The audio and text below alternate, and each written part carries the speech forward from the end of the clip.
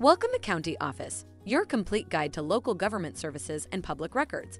Let's start learning. What is traffic law and substance abuse education course? Picture this. You're cruising down the highway, wind in your hair, your favorite song on the radio. Suddenly, you see flashing lights in your rearview mirror. You've been caught speeding. Now what? Welcome to the world of traffic law and substance abuse education courses.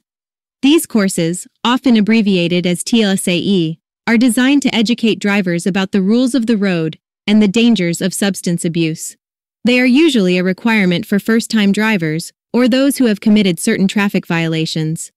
In these courses, you'll learn about the legal consequences of driving under the influence, the effects of drugs and alcohol on your driving abilities, and the importance of safe driving practices. Think of it as a refresher course on how to be a responsible driver. But it's not all doom and gloom. These courses can often be taken online, at your own pace, and sometimes even with a cup of coffee in hand. They're designed to be informative, engaging, and even a little fun.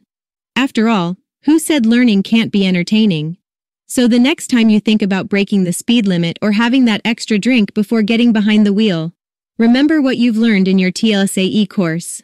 Drive safe, stay sober, and keep those flashing lights in your rearview mirror a thing of the past. Take a look at the links in the description below to learn more. If you have any questions or want to share your thoughts, leave a comment. We're here to help. Thanks for watching our video. Be sure to like, subscribe, and leave a comment below. We'll see you in our next video.